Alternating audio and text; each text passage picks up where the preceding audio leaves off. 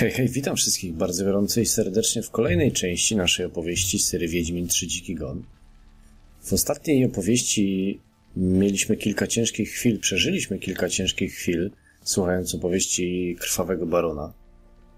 Teraz jedynie co, to musimy kazać Baronowi wskazać miejsce pochówku. Zostaliśmy zapytani, czy chcemy tego już dokonać. Ja bym się jeszcze wstrzymał, a już mówię dlaczego. Z tego względu, że troszkę już przeżyliśmy naszych przygód. Ja w międzyczasie nie byłem jeszcze u Kowala, a dobrze byłoby wpaść.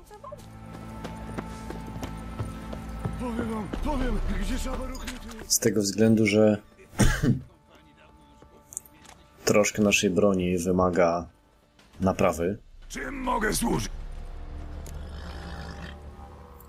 i to jest bardzo ważne akurat. twoje towary.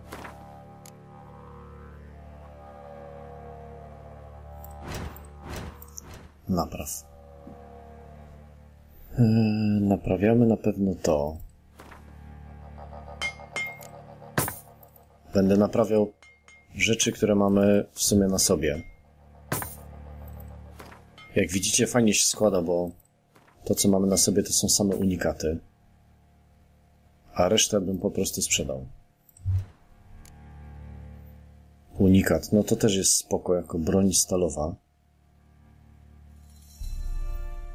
Tylko, hmm, czy ja będę tym coś ciachać? Krasnoludzki topór, lepszy o 21 od tego, co mam. Zastanowię się nad tym na pewno.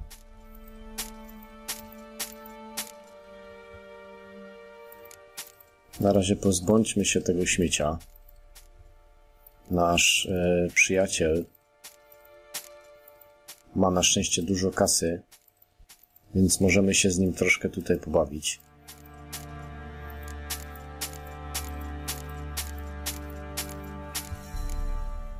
Jakieś tam spodnie, jasne.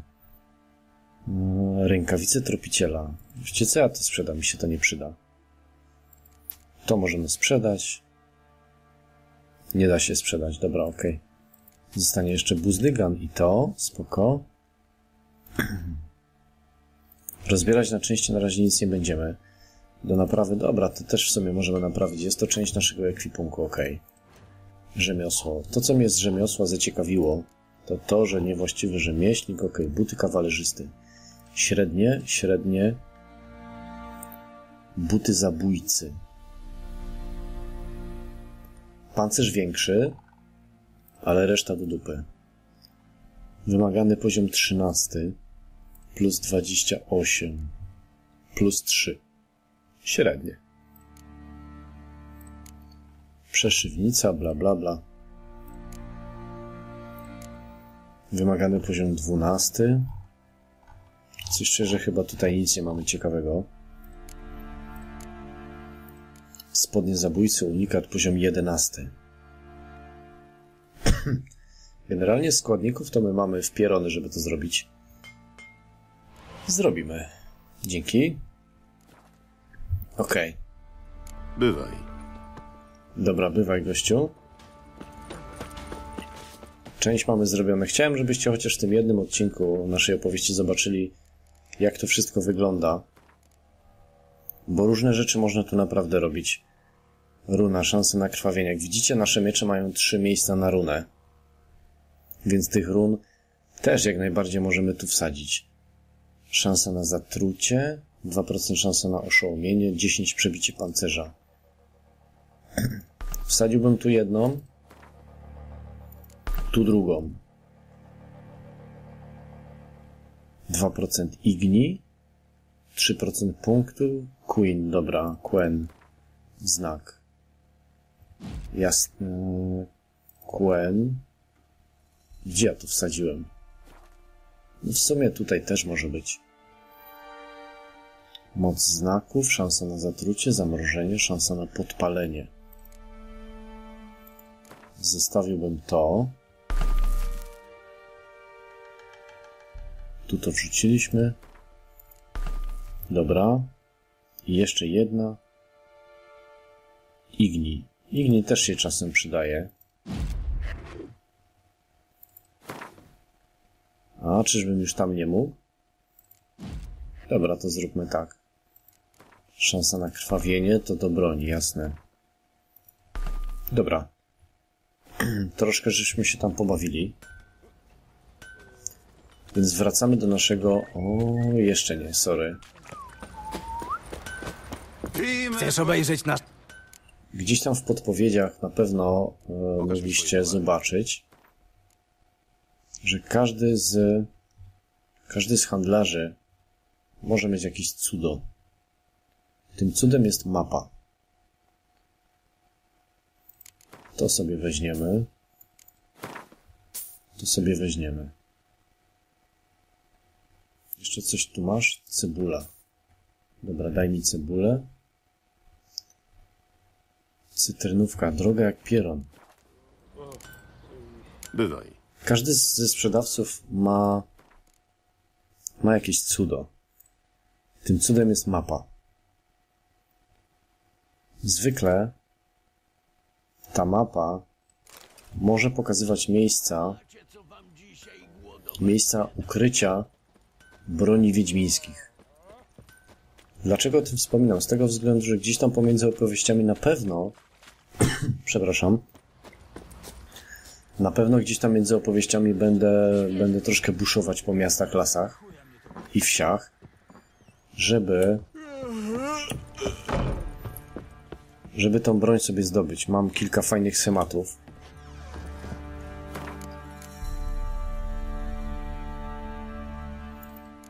Sobie wrzucimy tu. Mam kilka fajnych schematów i nie chciałbym ich nie wykorzystywać. Chcę wycisnąć z tego, co się da. Więc na pewno będę też chciał z tych schematów wycisnąć, co się da. A bronie, z tego co widać, mogą się prezentować dosyć konkretnie. Jak? Gotowy jesteś? Ja jestem gotów, jasne. Im szybciej to załatwimy, tym lepiej. A najlepiej dziś o północy. To poczekaj tu ze mną. Wyjdziemy przed północą i pokażę ci grób. Każ ludziom nie wychodzić z domów. Niech nakreślą pod drzwiami linię z soli. Wziąć szpadel? Żeby mogiłę rozkopać? Wiesz, przyda się później. Do rozkopania mogiły nie będzie potrzebny.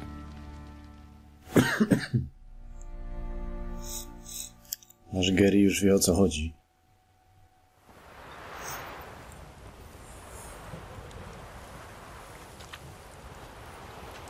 Jeszcze kawałek idź za mną.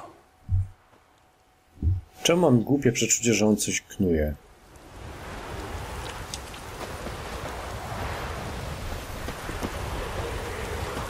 Nadaliście dziecku imię?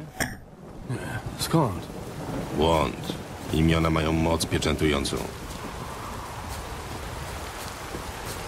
Burza psia krew.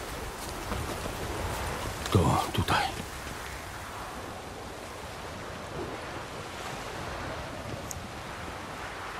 Piękne miejsce wybrałeś. O, przecież kurwa wiem, że źle zrobiłem. Przynajmniej tyle.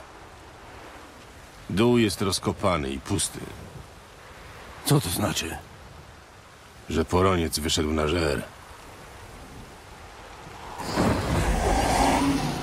O fuck. Patrz! O ja pierdzielę.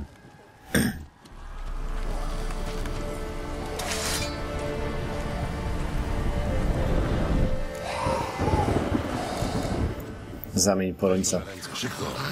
A co jak się rozsierdzi? Ani się obejrzymy i nas zagryzie. Nie podnoś głosu, bo go rozjuszysz. Na razie jest spokojny. O ja pierdolę, a jeśli się zaniepokoi? Przegryzie ci tętnicę szyjną i wykrwawisz się, zanim zdąży ci pomóc. Mów, gdyby zaczął się wiercić. Uspokoję go magią. O, jaki piękny mieczyk mamy. Teraz. Jaki hardcore. Bogowie miłosierni.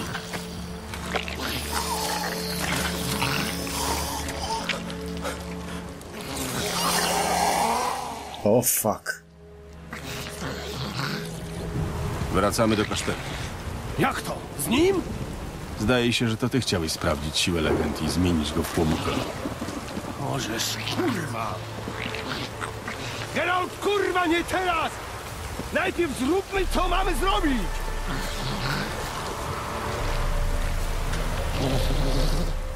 Dobra, ciśniemy.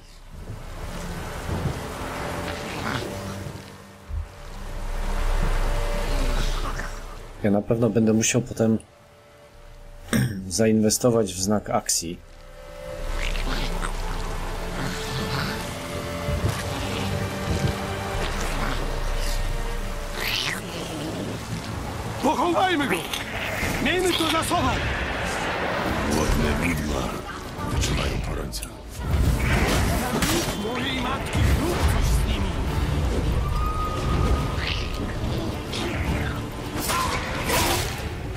Dobra, jeden.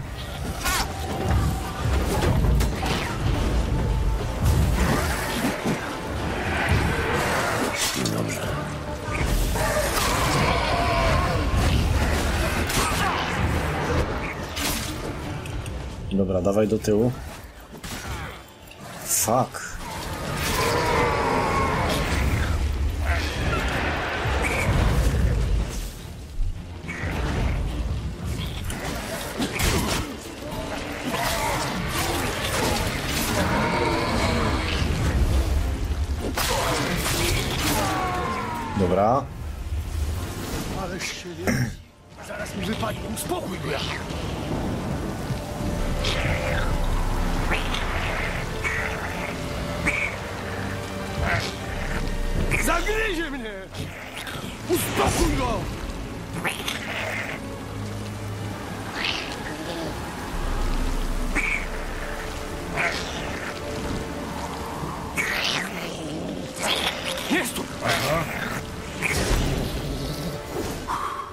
Udało się.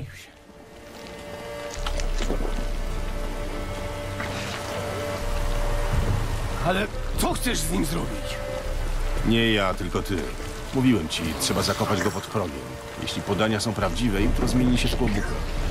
Odtąd będzie związany z twoim domem, a mnie pomoże odnaleźć twoją rodzinę. Dobra, idziemy. Jeszcze kawałeczek. Ciekawe, czy jeszcze raz nas ktoś zaatakuje.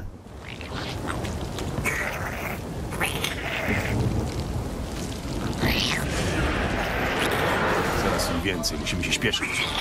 No to jazda! Nie mam zamiaru czekać, aż nas zeżrą.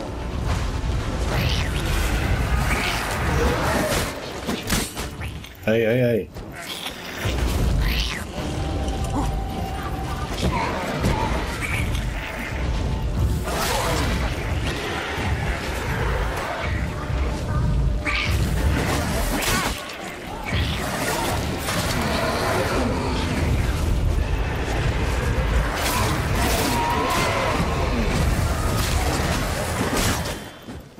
Nie róbcie mi tego, no.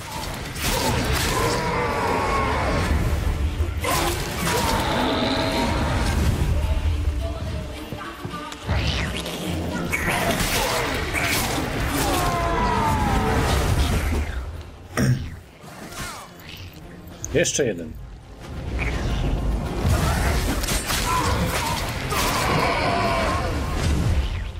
Jeszcze coś? Znowu to samo. Bije się jak węgorz, nie utrzymam go. Udało się. Przestał. Ciśniemy dalej jeszcze, baronie, jeszcze kawałeczek. Wybrałeś imię? Nie, No to wymyśl jakiś, to ważne. to, to dziewczynka. Jaka neczka chciałaby ją nazwać? Może po mamie?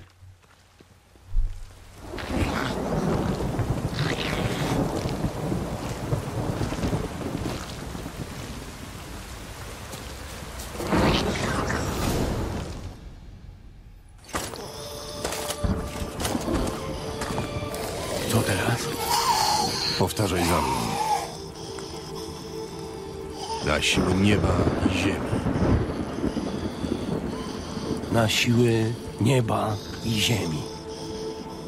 Na świat, który miał się stać twoim domem. Na świat, który miał się stać twoim domem. Wybacz mi ty, która przyszłaś, a której nie przyjąłem. Wybacz mi ty, która przyszłaś, a której nie przyjąłem. Nadaję ci imię. Powiedz je. I uznaję za córkę. Nadaję ci imię Dea. I uznaję za córkę.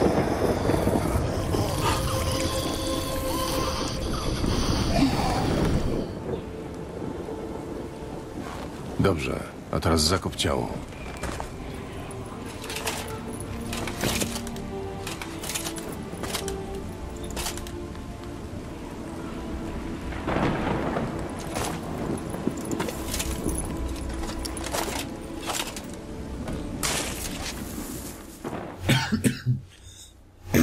Czyżby się udało?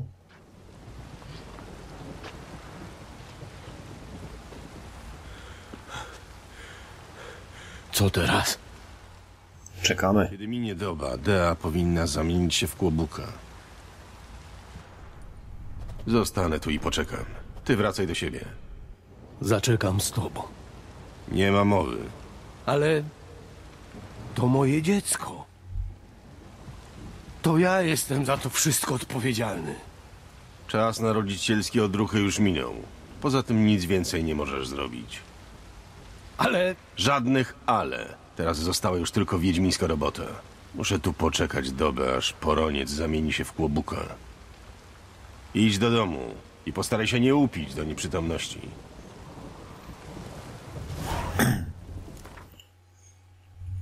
Dobra. Wezwij kłobuka w miejscu połówku porońca.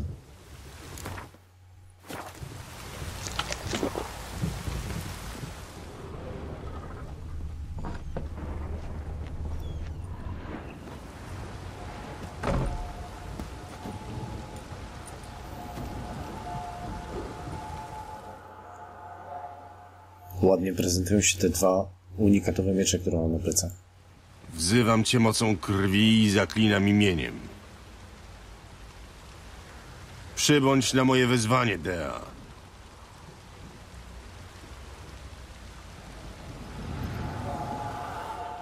Czyżby? I wskaż mi drogę do swoich krewnych.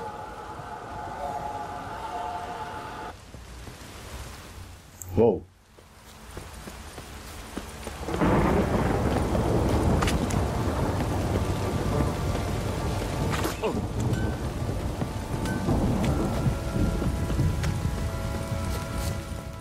Inni nawet nie widzą tego, co tu się dzieje.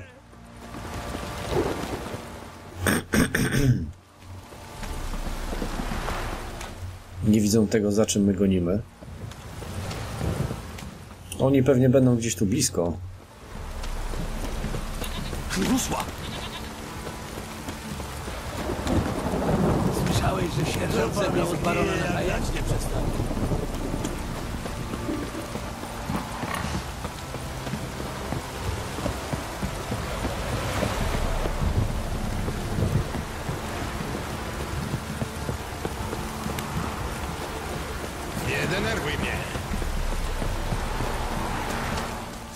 Utopiec, cofnij się, nie mam czasu na ciebie.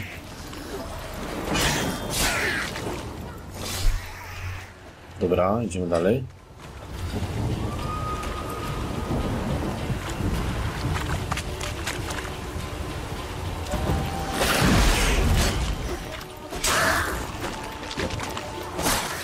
Pięknie.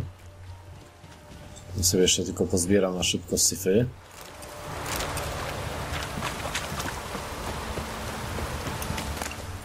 Mózg utopca to się zawsze przyda.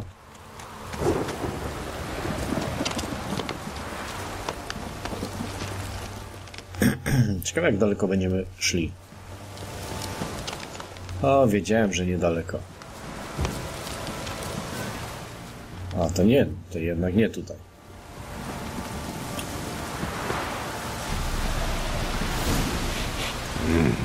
Lawendy to tam raczej nie trzymali, ale może warto się tu rozejrzeć.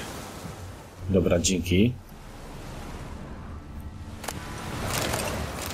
Już widzę tutaj jakiś syf. Podkowa? Smolarzy na pewno nie byłoby stać na konia. Bransoletka. Któraś z nich musiała ją upuścić.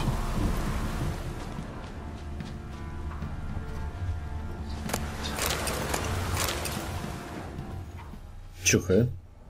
Ubrania? Czyżby się tu przebrałem? Obie to były. Znaczy, że idę dobrym tropem.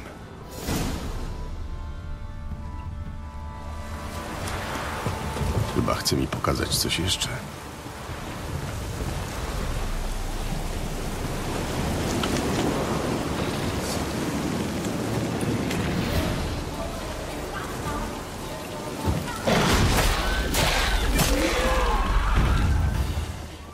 Chodź tu.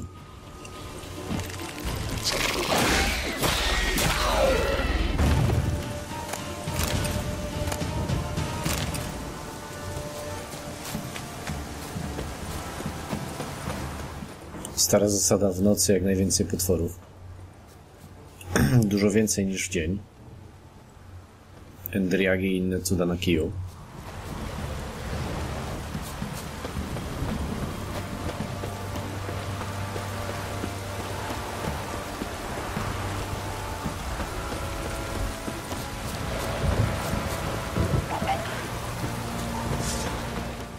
Chodź tu.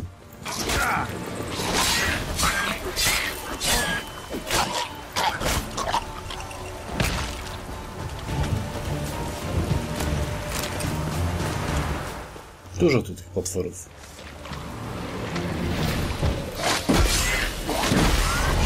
Był pojady na używanie. Tak warto się temu przyjrzeć. Jeden drugiego. Dobra. Ja tu widzę jeszcze coś.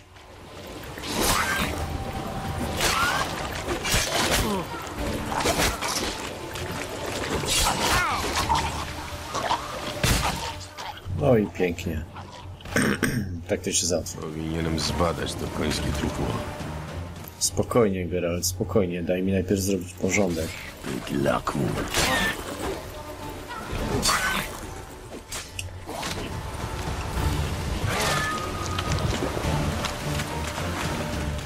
W końcu będę się mógł tu na spokojnie rozejrzeć.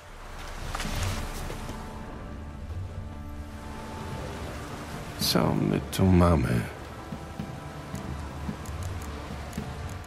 Zaczniemy od początku. Kości już tu chwilę leżą.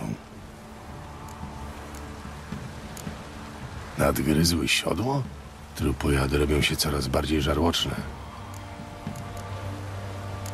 Ślady wielkich szponów. Na pewno nie należały do trupojadów. Może gryf? Brakuje podkowy. Albo to zbieg okoliczności, albo to ten koń zgubił ją w starej smolarni. Oderwany łeb. To mogło zrobić tylko coś naprawdę silnego. Musiało je tu zaskoczyć jakieś potężne bydle. Mam nadzieję, że jakimś cudem przeżyły. Tylko co to mogło być? Wygląda na to, że ślad się jeszcze nie urwał.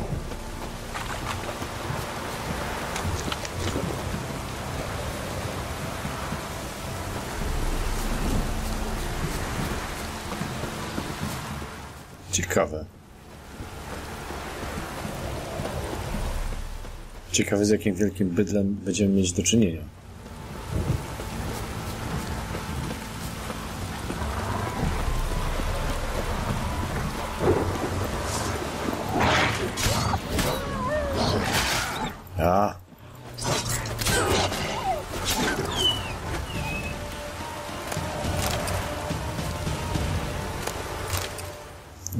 Pozbierać. Wątrobę wilka przecież można zjeść. Na spokojnie, ma wiele odżywczych składników.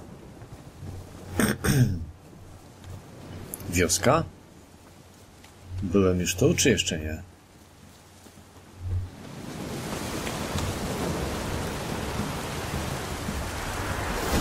Rybacka chata? On chyba chce, żebym zbadał to miejsce.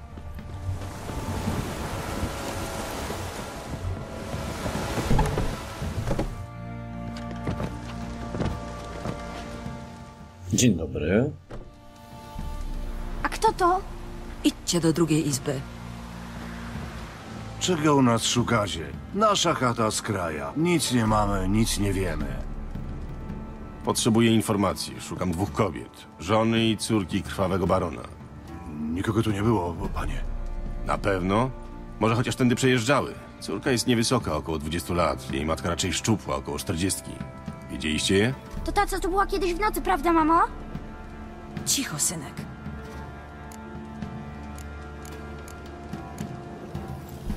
Co się stało z tą dziewczyną? Twój syn powiedział już tyle, że nie warto dalej iść w zaparte. Nie wyglądacie, panie, na jednego z ludzi jej ojca. Bo nim nie jestem. Szukam Tamary i jej matki. Muszę wiedzieć, czy żyją, czy są bezpieczne. Tamara na pewno siedzi u mojego brata w Oksenfurcie, ale z panią Anną to inna sprawa. To znaczy, Pewnie wszędzie i lepiej niż na Wrońcach. Czemu? Bo... bo on ją lał, panie. Panią Annę znaczy. Wszyscy o tym wiedzieli, ale... E, nikt palcem nie kiwnął. Co się A. stało z tą dziewczyną? Twój syn powiedział... dobra, to już było. nim nie jest. Tamara na... Chociaż... Przez pomyłkę nacisnąłem nie to, co mieliśmy. Co się stało z matką Tamary? To było tak. Czekałem na nie w starej smolarni, przyprowadziłem konie. Zimno było jak diabli, a i ciemno tak, że na dwa łokcie nic nie widziałem. Księżyc stał wysoko, a one nie przychodziły. Już się bać zacząłem, że je jakie licho porwało, ale w końcu się zjawiło i ruszyliśmy w stronę rzeki. Nagle ni stąd ni zerwał się wicher. Myślałem, że mi łeb urwie. A do tego jeszcze te ptaszyska. Całe chmary krążyły nad lasem, a wrzask taki podniosły, że aż w uszach dzwoniło. Pani Anna krzyknęła i skuliła się. Tamara wzięła ją za ręce i wtedy to zobaczyłem. Na dłoniach miała płonące znaki. Przepowienia Itliny.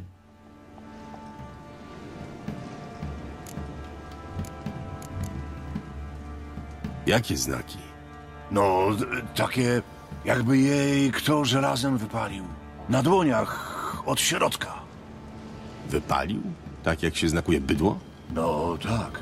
Tyle, że te znaki nie były czarne, wystygnięte, tylko rozżarzone, jakby płonęły żywym ogniem. Dobra. No dobrze. Co było dalej? Pociemniało jeszcze bardziej. Jakby kto zgasił wszystkie gwiazdy. W jednej chwili świerszcze ucichły. A w lesie, jak coś nie ryknie. Zimne poty mnie zlały. Ani się obejrzałem, z puszczy wypadła bestia. Wielka jak stodoła, rogata i ze ślepiami błyszczącymi jak rozżarzone węgle. Myślałem, że to już koniec. Bestia dopadła konia pani Anny i łeb mu urwała, a ją samą w las poniosła. Nasze konie, znaczy mój i panienki Tamary, się spłoszyły i pędziły na złamanie karku. Tylko dlategośmy uciekli. Tamara chciała wrócić po matkę. Szczęściem żona ją od tego odwiodła i przekonała, że sama nic nie zdziała. Ciekawe. Dlaczego w ogóle im pomagałeś? Sporo ryzykowałeś. Dług miałem wobec panienki Tamary. Ze trzy księżyce temu mój syn leżał w gorączce. Wszyscyśmy myśleli, że nie wyżyje. Tamara się o tym zwiedziała, przyniosła jedzenie i leki, bo u nas bieda aż piszczy. Co tu gadać? Uratowała mi chłopaka. Sam bym się pewnie nie ośmielił pomóc, ale żona mi rzekła, nastał czas wojny i pogardy, czas ludzkiej niegodziwości. Wtedy mus nam za dobro dobrem odpłacać, a kto stoi bezczynnie, ten jakby złoczynił. Ożeniłeś się z mądrą kobietą. Szkoda tylko, że koniec końców i pani Anny uratować się nie dało. To też pewnie nie do końca, ale zobaczymy. Dzięki za pomoc. Ta panienka, wszystko będzie z nią dobrze, prawda? Zrobię co w mojej mocy. Dobra. Jedna część załatwiona.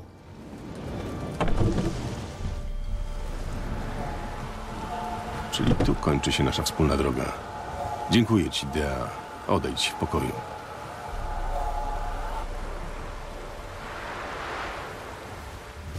Dobra. Porozmawiaj z baronem o jego rodzinie.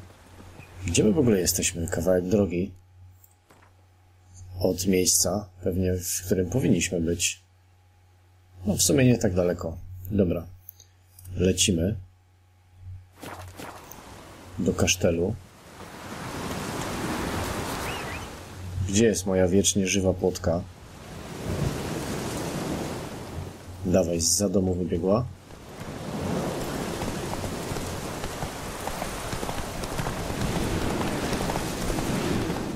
Ciekawe, co to była za bestia. Ciekawe, czy zaraz nie dostaniemy na nią zlecenia.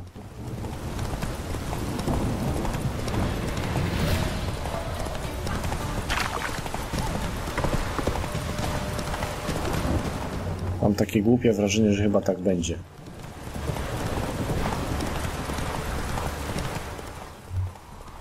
Nie ma to jak nocna przejażdżka konno.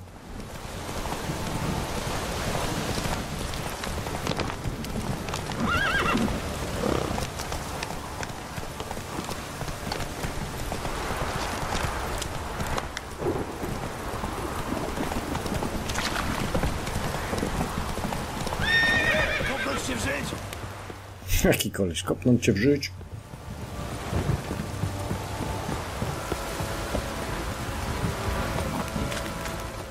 Szkoda, że nasz, nasz Wiedźmin nie ma więcej staminy. Nie musielibyśmy tak skakać.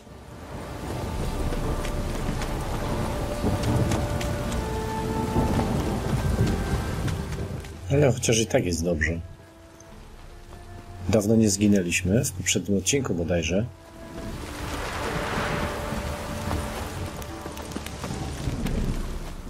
Ciekawe, co nam Baron odpowie na to. Guślarz chce spytać o waszą usługę.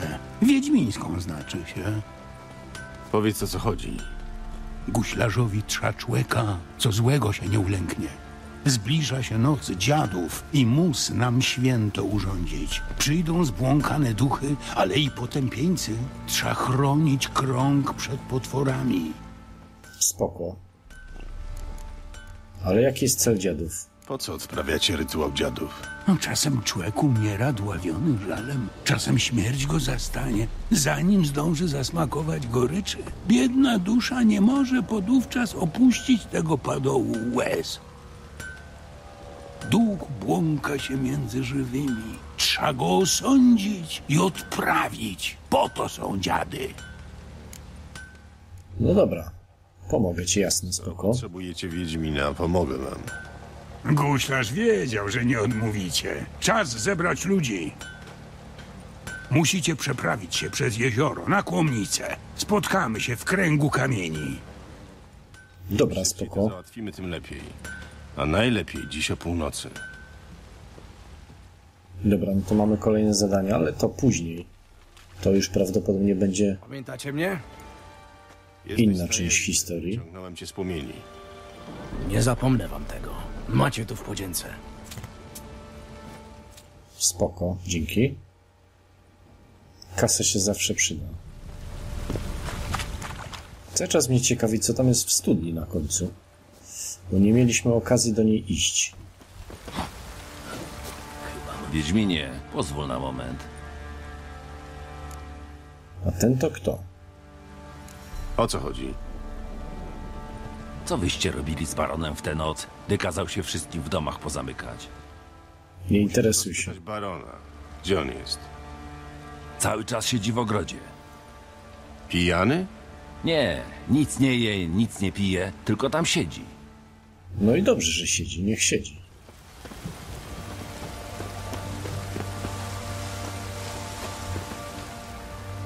Tu jesteś. Widzisz te malwy? Te fioletowe. Sprowadziłem je z Nazairu. Anna przeczytała jakieś opowiadanie i koniecznie chciała takie mieć. Godzinami się nimi zajmowała. A jaka była wtedy szczęśliwa. A tamte, takie postrzępione. Zerikani nazywają je rajskimi ptakami, ale Tamara mówiła rajskie smoki. Uwielbiała je. Szkoda, że nigdy nie dowiem się, które najbardziej podobałyby się Dei. Ale dobrze przynajmniej mieć świadomość, że jej duch jest teraz wolny.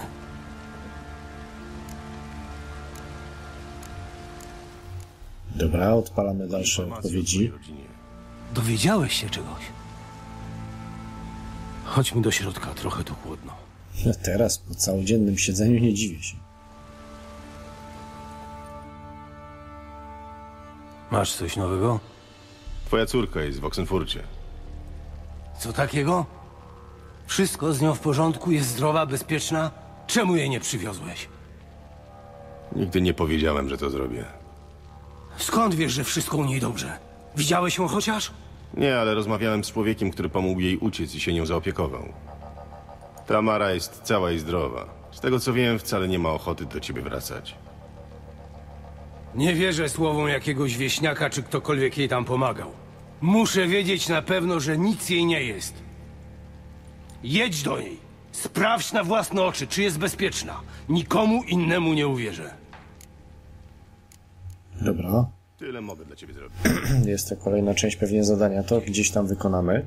Masz tu na zachętę. I jeszcze to. Co to? Glade. Odkąd Rydańczycy zajęli deltę Pontaru, ciężko się bez tego dostać na ziemię nowigradzkie. No dobra, a co z Anną? Miałeś znaleźć je obie. Dowiedziałeś się czegoś?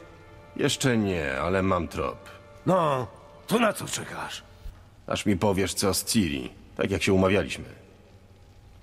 Ach, niech będzie. Słowo się rzekło. Więc kiedy Ciri wydobrzała, wzięliśmy ją na polowanie.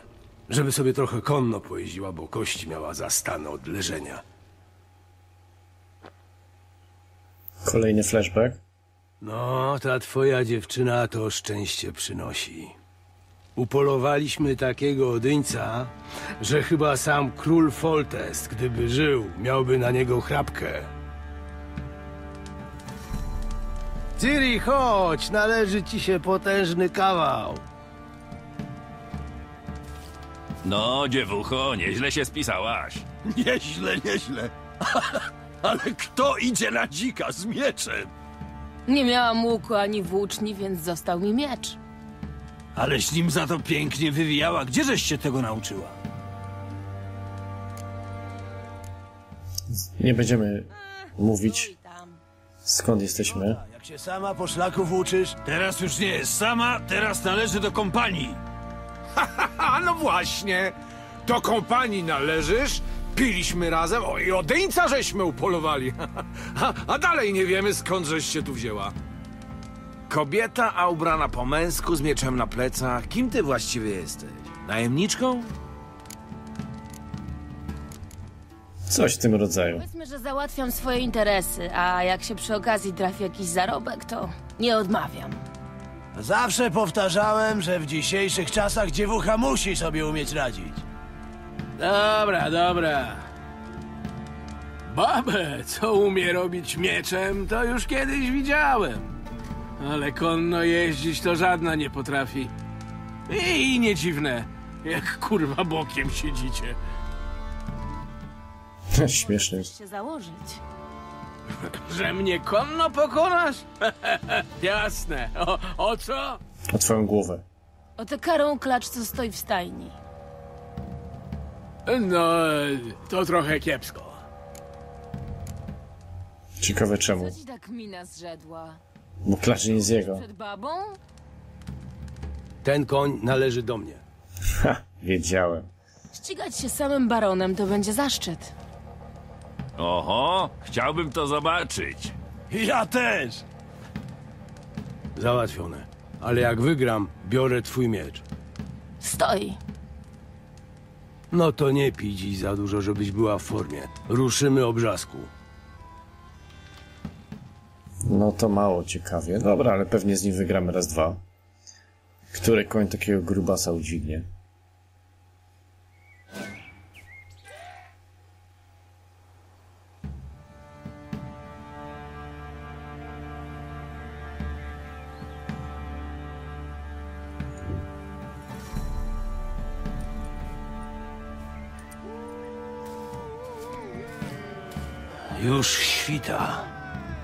Gotowy? Jak nigdy. Ścigamy się do wieży. No dobra. Na koń! Myślałem, że będę musiał... Dalej, Ciri! Nie przynieś nam wstydu! Twój miecz zaraz będzie mój! Niedoczekanie!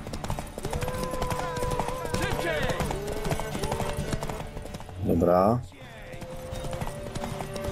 Zależy ci na tej klaczy, co? Miałam kiedyś podobną! Będziemy go, Mój miecz zaraz będzie mój! będziemy go tak, wiecie, zwodzić. Fuck. Musiał nas wyprzedzić, nie?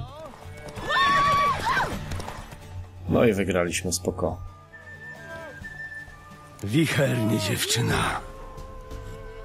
Jesteś warta najlepszego konia. Klacz jest twoja. Dzięki.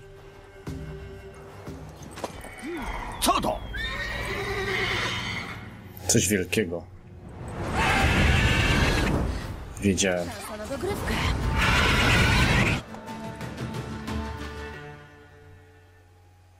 Ciekawe jak to się skończyło. Wrzasnęła jako szalała i wszyscy w jednej chwili zapomnieli o zakładzie. Każdy biegł na złamanie karku, żeby tylko skórę ratować. I? Udało się?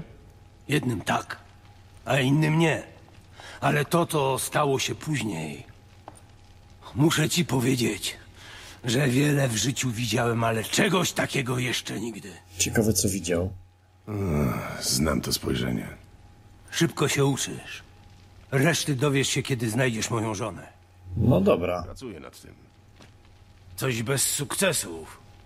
Wcześniej nie brałem pod uwagę, że się rozdzieliły. Ale spokojnie, znajdę i Annę. No nie będziemy grać w Gwinta. Bywaj. Dobra. Wiecie co? Powiem tak. Tą opowieść za niedługo będziemy kończyć. Myślę, że dowiedzieliśmy się dość dużo jak na ten odcinek. Ale zanim to zrobimy, Wiedźminie, zaczekaj! Gdy odnajdziesz moją córkę, możesz jej to przekazać? Szmacianą lalkę?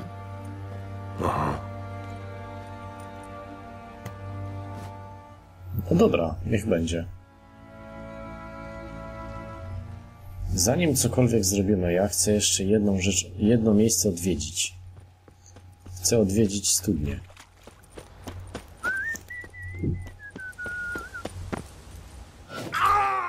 Fuck. No to se odwiedziłem. Jaki ze mnie jest mistrz świata.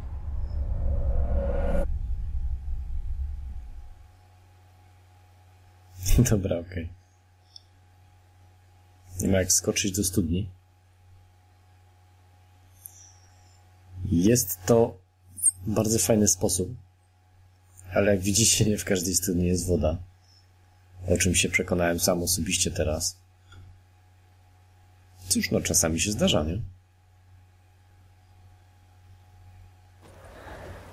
Zrobimy to jeszcze raz, ale tym razem wolniej. Użyjemy tak bardzo po ludzku drabinki, która tam się znajduje. Będzie tak chyba lepiej.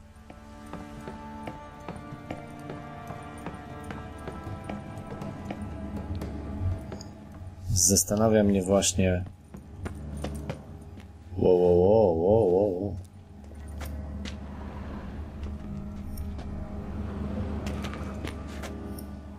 Czy da się tu w ogóle zejść?